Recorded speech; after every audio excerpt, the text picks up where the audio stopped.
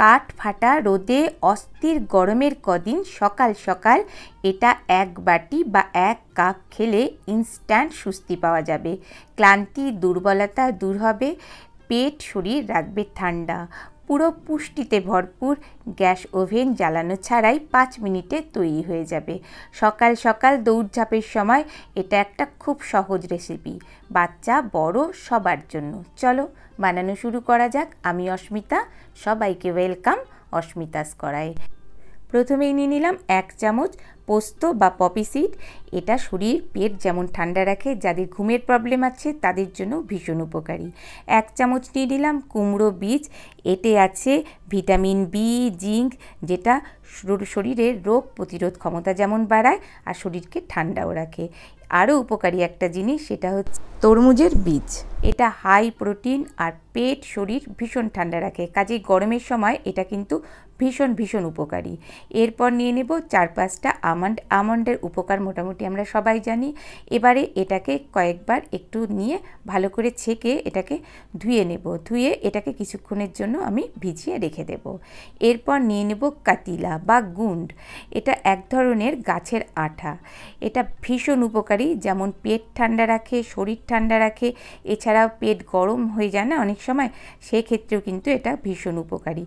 তো এটা খুব কমই পরিমাণ লাগবে, তো এটাকে আমি নিয়ে একটুখানি গুঁড়ো করে নেব। গুঁড়ো করে তারপর আমি এটাকে কিছুক্ষণের জন্য ভিজিয়ে রাখব। আর এটা না ভিজিয়ে রাখার পরে এটা দেখব এর পরিমাণটা অনেকটা বেড়ে গেছে। তো আমি সেই কারণে যতটা গুঁদ বা কাতিলা নিলাম, তার মোটামুটি অনেকটা পরিমাণ মানে প্রায় এক বাটি থেকে একটু কম নিয়ে নেব জল। এবার এটাকে মিনিমাম পাঁচ থেকে ছ ঘণ্টা আমি ভিজিয়ে রেখে দেব। এরপর আরও একটা মিক্সিং বোল নিয়ে নিলাম, তাতে নিয়ে নেব দু চামচের মতো ওটস। তো এটা এখানে যে কোনো ওটসই নেওয়া যেতে পারে রোল ওটসও নেওয়া যেতে পারে। তো এটাকেও তাই দু একবার ভালো করে ধুয়ে নিয়ে তারপর আমরা এটাকে কিছুক্ষণের জন্য ভিজিয়ে রেখে দেব। এটা পনেরো থেকে কুড়ি মিনিট ভিজিয়ে রাখলেই হবে। তো এটাকে একটু কভার করে আমি কিছুক্ষণের জন্য সরিয়ে রেখে দিলাম। এরপর ছ ঘণ্টা পর আমি যেগুলো ভিজিয়ে রেখেছিলাম সেগুলো নিয়ে এলাম। তো এটা হচ্ছে কাতিলা বা গুঁদ, সেটা একদম ফুলে ঘন হয়ে কীরকম থকথকে জেলির মতো তৈরি হয়ে গেছে। এটা বারবারই বলছি, এই গরমে ভীষণ উপকারী। আর যে ওটসটা আমরা নিয়েছিলাম, ভিজিয়ে রেখেছি, এটাও তাই পনেরো মিনিটের জন্য আমি ভিজিয়ে রেখেছিলাম, সেটাও আমাদের তৈরি হয়ে গেছে। আর যে ড্রাই ফ্রুটসগুলো আমি ভিজিয়ে রেখেছিলাম, সেগুলোও কিন্তু নরম হয়ে গেছে। এবার নিয়ে নেব দুধ, এটা ঠান্ডা দুধ, আর এটা একদম উইদাউট ক্রিম, যেটা টোন দুধ হয়, সেই দুধটাই নিয়ে নিয়েছি। তো ওপর দিয়ে তাও হালকা শর্টটা পড়েছে, তো সেই শর্টটাকে আমরা তুলে নেব। আর বাচ্চাদের যদি খাওয়াও, সেক্ষেত্রে শর্টটা দিয়েও এটা করে নেওয়া যেতে পারে।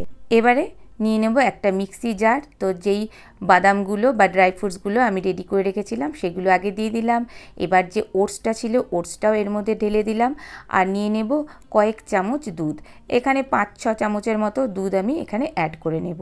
এবার এটার মধ্যে একটু মিষ্টি ভাব আনার জন্য নিয়ে নেব খেজুর। এখানে যে কোনো খেজুরই নেওয়া যেতে পারে। আজকে আমি লাল খেজুর যেটা হয়, সেটাই নিচ্ছি। আমি এটা দু ঘণ্টার মতো ভিজিয়ে রেখেছিলাম। আর ভেতর থেকে বীজগুলো ছাড়িয়ে নেব। নিয়ে এবার খেজুরগুলোকেও ওই মিক্সি জারটার মধ্যে দিয়ে দেবো। দিয়ে একটু ঘুরিয়ে নেব। এরপর আমি এলাচটা দিতে ভুলে গেছিলাম। এলাচের গন্ধটাও যেমন এখানে ভালো লাগে, আর এলাচও কিন্তু পেট এবং শরীর ঠান্ডা রাখতে সাহায্য করে। তো আরও একবার মিক্সিটাকে ঘুরিয়ে নিয়েছি। তো এবার আমাদের স্মুদি একদম রেডি হয়ে গেছে। এবার এটাকে আমরা নামিয়ে নেব। আর এই স্মুদিটা আমরা একদম ডাইরেক্ট এইভাবেই আমরা খেতে পারি। কিন্তু আমরা এটাকে আরও অনেক বেশি হেলদি তৈরি করব। তো সেই জন্য কি করব? যে আমরা কাতিলাটা আছে, এবার কাতিলাটা আমরা এর সাথে অ্যাড করব। তো এরকম আমি দুটো বাটি নিয়ে নিলাম। বাটির মধ্যে বেশ দু থেকে তিন চামচ করে আমরা কাতিলা এর মধ্যে অ্যাড করে দেব। দিয়ে তারপরে আমরা যে স্মুদিটা তৈরি করলাম, সেই স্মুদিটা এর মধ্যে দিয়ে দেব। আর কাতিলার দেখো কালারটা কত সুন্দর হয়েছে, আর জেলিটাও দেখো একদম পুরো থকথকে একটা জেলি তৈরি হয়ে গেছে। তো স্মুদিটা দিয়ে খুব ভালো করে সবগুলোকে একসাথে এমনিভাবে মিশিয়ে দেব। এবার এটা বাটিতেও খেতে পারো বা কাপেও খেতে পারো। তো দেখতে সুন্দর লাগার জন্য এরকম কাপের মধ্যে আবারও এরকম কাতিলা বা গুন্দ আমরা এর মধ্যে দিয়ে দেব। দিয়ে আবারও স্মুদি এরকম করে ঢেলে দেব। বাচ্চাদের এটা কিন্তু ভীষণ অ্যাট্রাকটিভ লাগবে, এইভাবে যদি আমরা সার্ভ করি।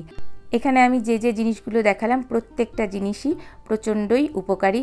আর এছাড়াও অন্য কোনো যদি নাটস বা ড্রাই ফ্রুটস অ্যাড করতে চাও, সেক্ষেত্রে এখানে অ্যাড করতে পারে এরকম হালকা ফুলকা খাওয়ার, যেমন ওয়েট লস করতেও সাহায্য করবে। এই জন্য সকালবেলাও এটা ব্রেকফাস্ট হিসাবেও নেওয়া যেতে পারে বা সন্ধ্যাবেলাও এটা খাওয়া যেতে পারে। তো এটা বাড়িতে একবার ট্রাই করে দেখতে পারো। আমার মনে হয় এটা পছন্দ হবে এবং ভীষণ হেলদি একটা খাবার। কাতিলা, যেটা আমরা এখানে ব্যবহার করলাম, ভীষণ ভীষণ উপকারী। আর দুধে যদি কারও প্রবলেম থাকে, তাহলে সেখানে দুধটাকে স্কিপ করা যেতে পারে। বাড়িতে আমাদের অনেক বয়স্ক ঠাকুমা, মায়েরা আছেন, তাদের কোমর ব্যথা হাঁটু ব্যথা বা কমজোরি থাকে, তাদেরকে জাস্ট এক বাটি করে সকালবেলায় যদি দেওয়া যায় না ইনস্ট্যান্ট তারা শক্তিও পাবে এবং অনেক দুর্বলতা কাটিয়ে উঠতে পারবে। তো তোমাদের আমার এই রেসিপিটি কেমন লাগল জানাতে পারো।